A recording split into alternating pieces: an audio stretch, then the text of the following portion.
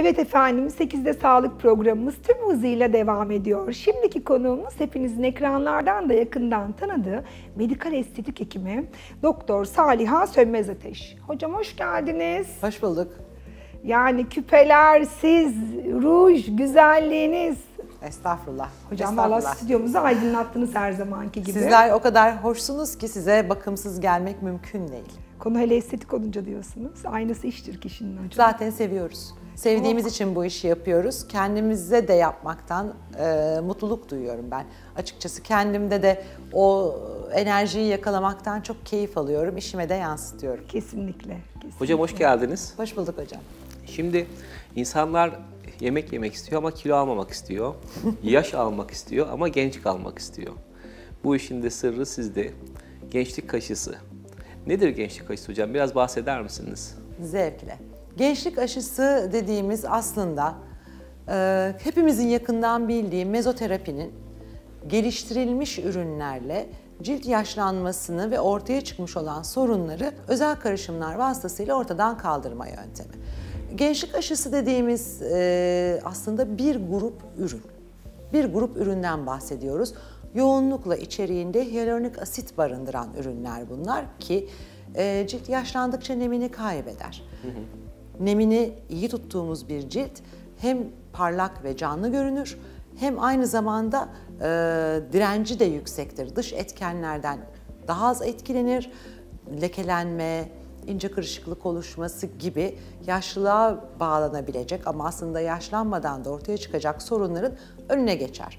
Dolayısıyla bunun e, ismi gençlik aşısı olarak bir kez konuldu ve çok sevildi, çok Böyle de popüler de gidiyor oldu. hocam, Öyle gidiyor. mi? Bu aslında tek bir ürün değil. Kişinin sorununa göre seçeceğimiz bir ürünler grubu. Aslında bir mezoterapi yöntemi fakat Kesinlikle. içerisinde bol miktarda hyaluronik asit biriktiriyor. Yani Evet. bulunuyor daha doğrusu. Evet. Hyaluronik asit de derimizin içinde bulunan bir madde zaten nemlenmemizi, daha genç kalmamızı sağlayan bir üründür diyebilir miyiz hocam? Kesinlikle diyebiliriz. Çok güzel e, konuyu toparladınız ama tabii gençlik aşıları dediğim gibi bir ürünler grubu olduğundan dolayı bazılarının içinde yoğun bir hyaluronik asit var. Bazılarının içinde değişik molekül ağırlıklarında hyaluronik asit var. Bazılarının içinde hyaluronik asitle beraber peptitler var. Bazılarının içinde ise hyaluronik asitle ve peptitlerle beraber vitaminler, koenzimler de bulunmakta. Biz de hastanın sorununa göre seçip zamanı geriye alıyoruz. Burada aslında hastaların, danışanların kendini biraz hekime teslim etmesi gerektiğini düşünüyorum ben. Çünkü Kesinlikle. e, çok Sadece bu noktada değil, yani- şeylerle çok değil mi böyle hayatlarını kabusa çevirebiliyorlar aslında kendilerini. Medikal estetik uygulamalar, plastik cerrahi uygulamaların kısmına da hocam da e, belki katılacaktır. O Evet. kısmı ben çok bilmiyorum ama medikal estetik uygulamalarda e, çok fazla isim var. Çok fazla isim ama aslında temelde aynı amaca hizmet var. E, burada farklılığı yaratan doğru hastaya doğru e, uygulamayı ya da doğru ürünü uygulamaktan geçiyor. Ne istediğini bilen hastaya anlatmak çok kolay ama biz hekimlerin de ben biraz ısrarcı olması taraftarıyım. Hasta Evet. illa da şu ışıltıyı, bu pırıltıyı istiyorum dediğinde eee, o sizin için şu aşamada şöyle uygun değil, bu daha uygunu çok ısrarla anlatıp kabul ettirmeye çalışmakta, eee, doğruyu kabul ettirmeye, ürünü değil. Doğru uygulama budur bu sizin için şu şu açılardan dezavantaj taşıyacaksa eğer çok ısrarlı olmak konusunda ben eee, birazcık ısrarcıyım açıkçası. Israrla anlatıyorum. Peki Herkese hocam anlatıyorum. mesela e, hastalarınız size geldiğinde ben illa işte yeni bir ürün ismi çıkarmış. Yani normalde sizin de yaptığınız bir şey ama sanki farklı bir isimle farklı Evet. bir uygulama yapılıyormuş gibi. Böyle bir durumda ne diyorsunuz hastalarınıza? Bunu merak ettiğim için soruyorum. Çünkü bana geliyorlar ben diyorum yani duymadım böyle bir şey. 3 yıl önce başka bir şey vardı, 5 yıl önce başka bir şey vardı, Evet. 10 yıl önce de bambaşka bir şey vardı. Şimdi e, çoğunlukla dediğiniz gibi isimle geliyorlar. Bazı isimleri gerçekten ben bile duymamış oluyorum. Onlar nereden buluyorlarsa hep Sosyal hayranlık. medya hocam. Evet, hayranlık duyuyorum. Sonra bakıyorum diyorum ki ben bunu bilmiyorum. Bilmediğim bir şeyse mutlaka söylerim. Ben bunu bilmiyorum. Bir bakayım neymiş bu. Bakıyorum. Çoğunlukla da 15 yıl önceden beri kullandığımız, etkinliğini sevdiğimiz bir ürün. Ama tekrar bir canlandırma hareketi gelişmiş. Böyle de bir isim uygun görülmüş. Ha diyorum tamam bu zaten bak Dosyanda da var biz sana bunu şu zaman yapmıştık. Gösteriyorum dosyalama sistemimiz olduğu için. E, ya da bazen de bakıyorum anlatıyorum. E, gençlik aşıları hangi durumda, hangi sıklıkla ve kimlere uygulanabilir hocam? Açıkçası gençlik aşıları yaş e, sınırı ben yaş sınırımı 18 olarak tutuyorum genelde herhangi bir uygulama için ihtiyaç mukabilinde. Burada yaş sınırı gerçekten 16 ile 18 arasından başlıyor ve e, sonuna kadar gider, sonsuza kadar gidebilir. Şu yaştan sonra artık uygulayamayız diyebileceğimiz hiçbir yaş Üst yok. sınır burada anladığım kadarıyla yok. Yok. Çünkü neden? Özellikle zaten yaşın artmasıyla beraber e, maruz kaldığımız etkenler de artıyor, travmatik etkenler ve bir takım kayıplarımız oluyor.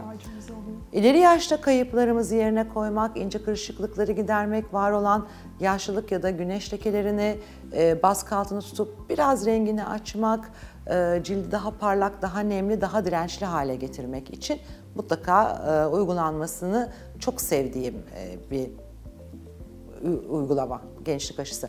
Daha genç yaşlarda ise açıkçası bir yatırım.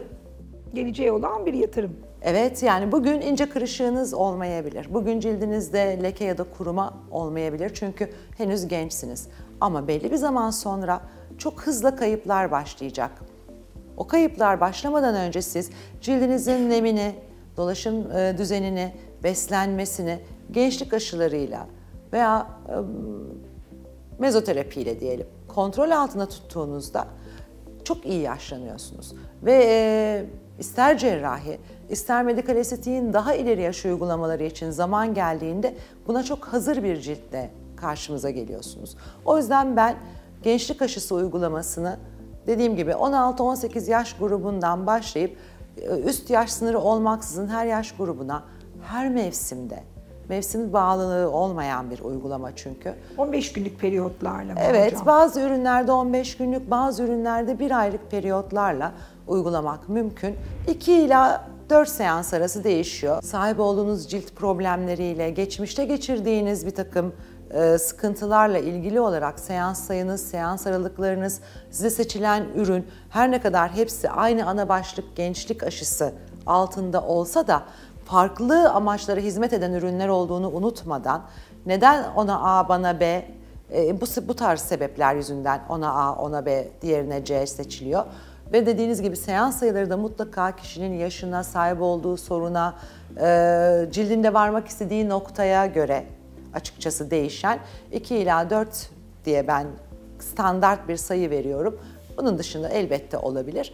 15 gün ya da bir ay aralıklarla bir kürün tamamlanmasını tavsiye ediyorum. Hocam Hatır- peki biz lafınızı balla Estağfurullah, kesiyorum. buyurun. Etkisi ne zaman başlıyor? Bir de varmak istediği nokta diyerek bahsettiğiniz kişi ne hedefle bunu yaptırmak istiyor?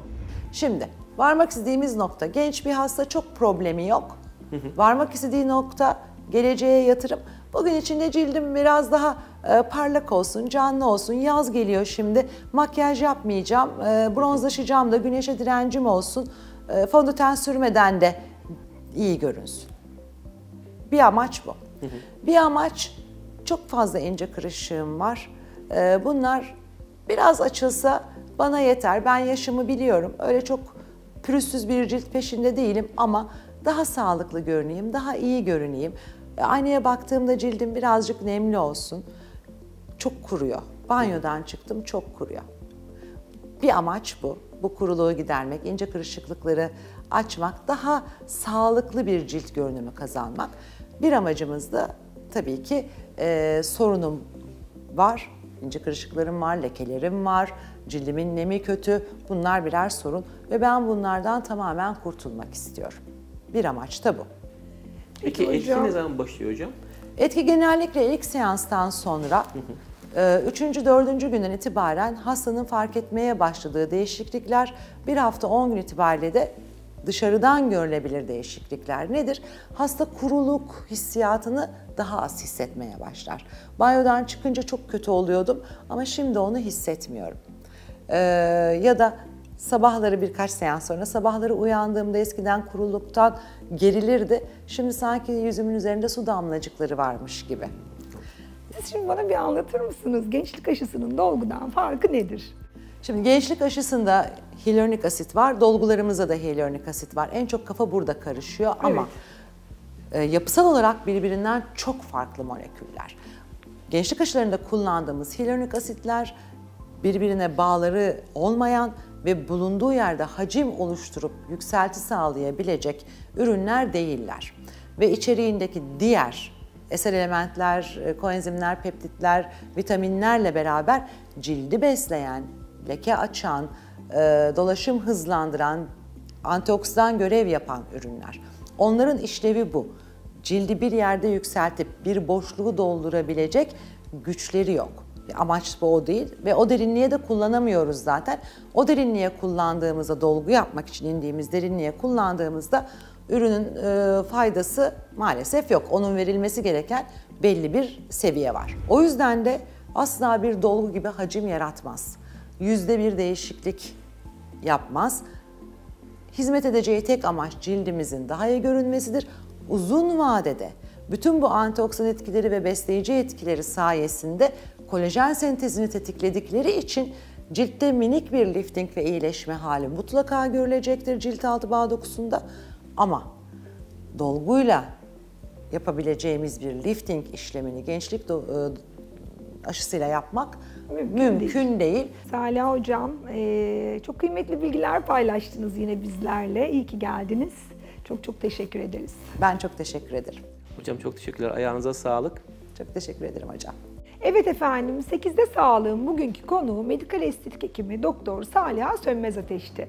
Kendisi bize halk arasında gençlik aşısı olarak bilinen mezoterapinin faydalarını, kimlere uygulanabileceğini ve dolgudan farkını anlattı. Verdiği değerli bilgiler için kendisine çok teşekkür ediyoruz. 8'de sağlık programımız tüm hızıyla devam ediyor.